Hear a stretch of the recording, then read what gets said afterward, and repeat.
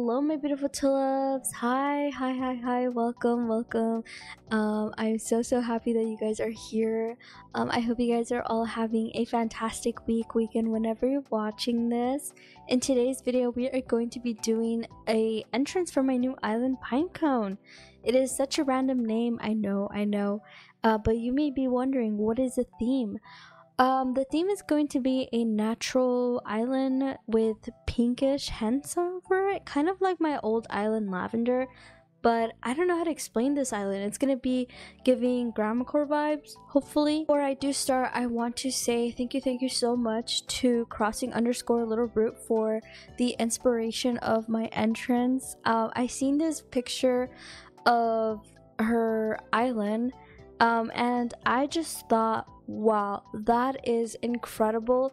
And during that time, I was kind of debating what kind of theme I wanted to do. I wanted to kind of get out of my comfort zone a little bit.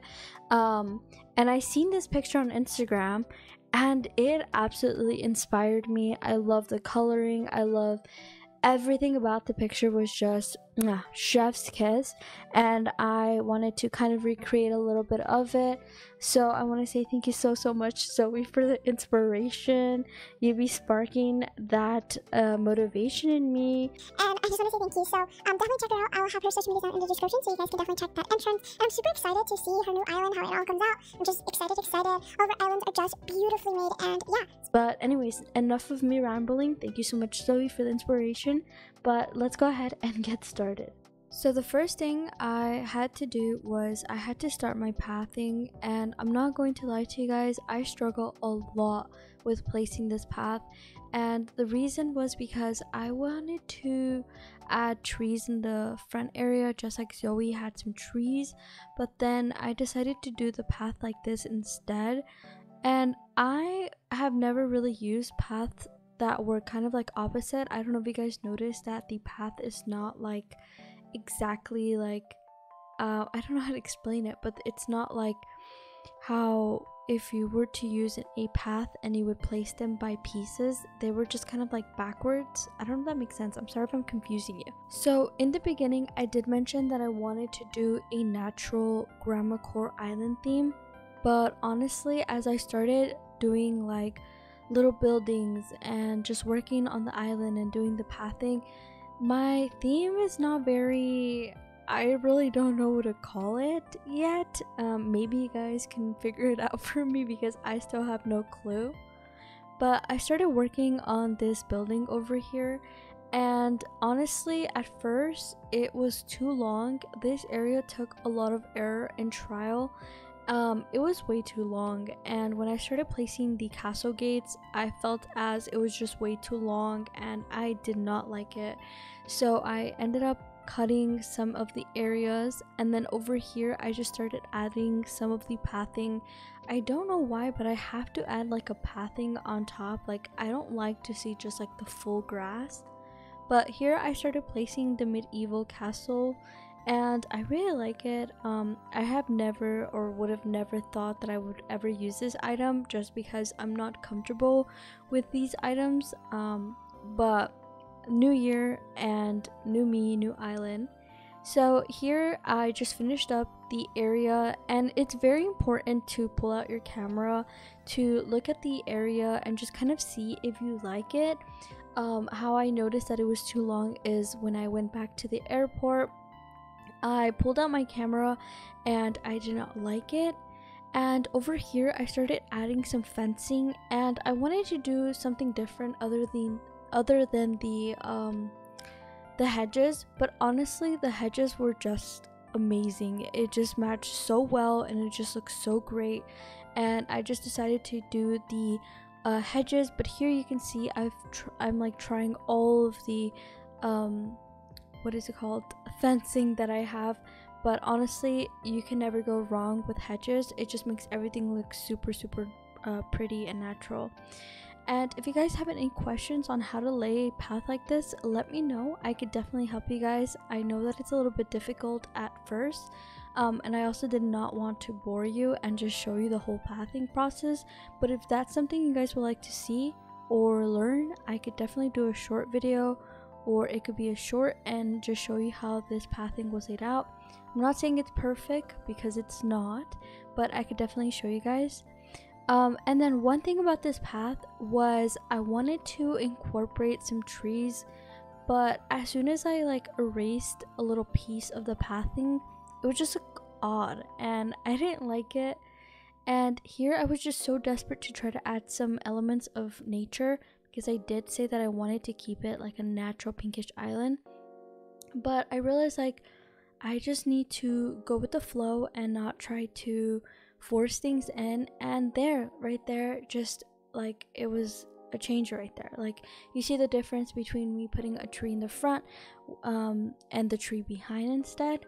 And I also wanted to really incorporate some storefronts. And for this first area up front, I wanted to do like a plant area, maybe a tulip farm, because I know that um Zoe she had like a bunch of like little houses, but I just took like inspiration of like the the tone and like the the vibe in the entrance, but I didn't like completely like copied it. I used elements that I would incorporate like flowers and um, it's always good to take inspiration but always add a sprinkle of your details. I don't know if that makes sense. But for this area i wanted to do a little tulip farm and just make it look nice. But anyways i'm gonna stop talking for a little bit just a little bit and i'll let you guys see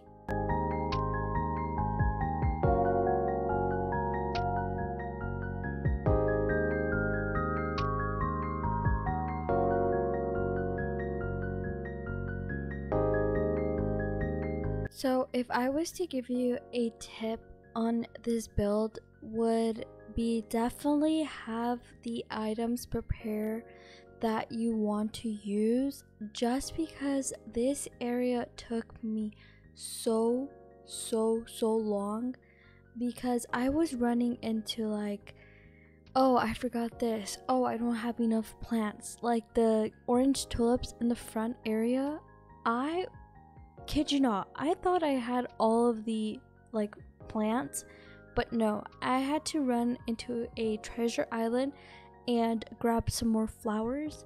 I also want to mention that if you um, are struggling to get items and are willing to like do treasure island, um, there are some free ones on Twitch. All you have to do is search up Animal Crossing uh, Treasure Island and sometimes there's a wait and sometimes there isn't but you can get plants bells furniture and it's much easier to do a build like that in my opinion. I just realized that i have been saying um for seven minutes straight and i'm sorry.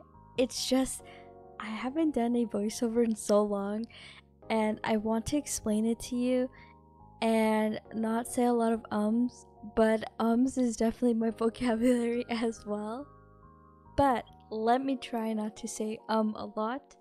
For this area over here, I wanted to add a sitting area and I was thinking between a just a regular bench or to add the iron garden uh, table, I think that's what it's called.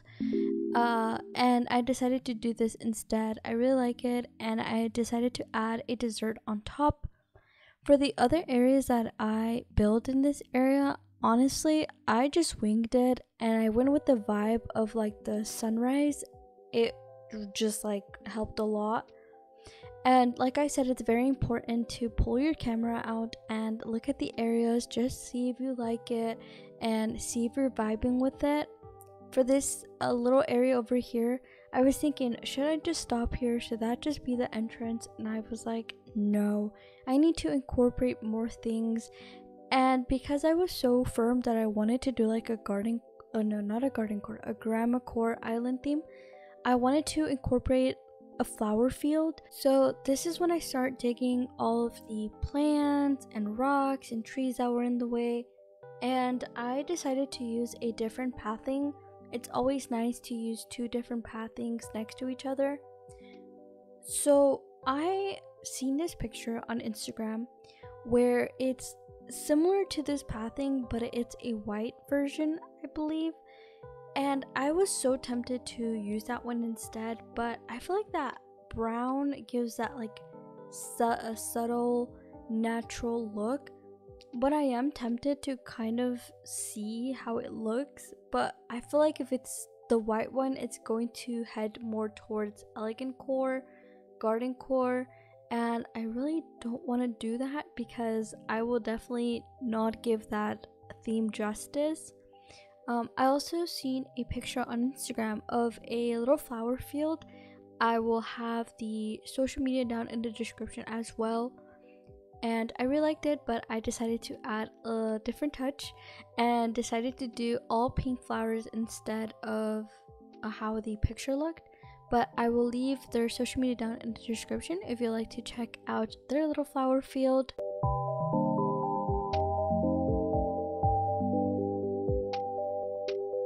what kind of themes are you guys doing these days? Because now that I'm kind of looking at it, this kind of reminds me of Valentine's, and I normally don't finish islands before like a holiday or like a season, but I'm hoping that I can finish this island by Valentine's Day, and I want to incorporate a lot of Valentine items like flowers and those little heart chocolates that they have.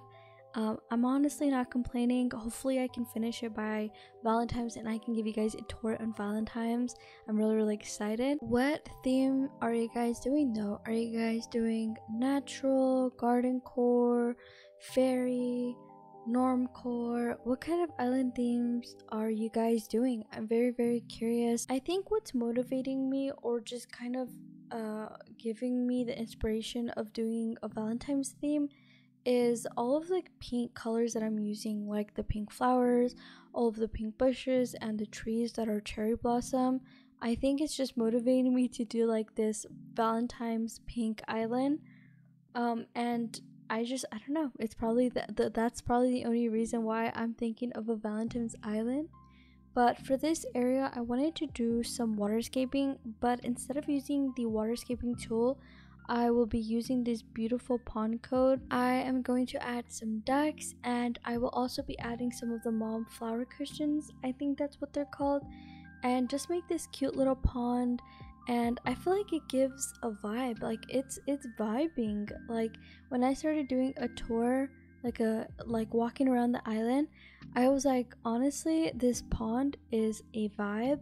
And also, don't you just love when you're trying to place a path somewhere and you kick it instead and it just looks like yeah you're like oh okay not where i wanted to. I wanted to add some fencing but honestly it just looked a little bit odd so i decided to use a different type of fencing and i don't remember what this item is called but i felt it looked more simple and it didn't look clutter and i wanted to use like a a pond splash coat but I need to go code shopping for that because I didn't like how this one looked. It didn't match the pond exactly, so I need to do some code shopping for that. Um, also, I don't know, this is like super random, but that little jellyfish, no, jelly song is stuck in my head from SpongeBob.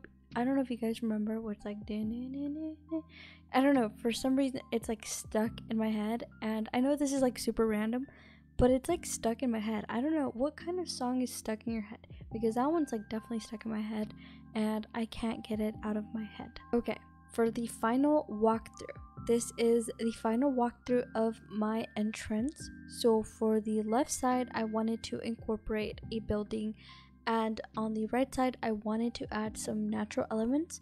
So I went for a tulip farm, and honestly, I really, really like, like it. It just this time it makes everything look so dewy and glowy and pretty. Um, we're going to ignore that I didn't finish the pathing, but all it matters is that I finished the entrance. And I will continue the pathing, but I didn't do it here. Um, so to the right side, we have this beautiful tulip farm, and you can buy some tulips, and you can buy your own starter packet to have a tulip farm of your own. And for this area, I wanted to do a little pond, and the little sign says, Do not feed the ducks. And I honestly love this area, especially in this time, just look how beautiful and natural this looks. And the cherry blossoms were paid actors because this looks beautiful. Um we're definitely gonna ignore that i did not add some hyacinths. Um it, looks so weird and like a huge patch. Um but it's filled now. Um i think at the time i didn't have the flowers but i can assure you now that it is full. For the front of my house i kept it simple with just some codes and a bush. But yeah that's pretty much it. Uh, thank you so much for sticking around to my chaotic build and thank you for taking time out of your day and life to watch my video. I appreciate it and if you like to watch videos like this, definitely subscribe and like and comment down what is your favorite area. Also check those amazing creators that inspired this island and I'll see you guys next time. Bye my beautiful tulips.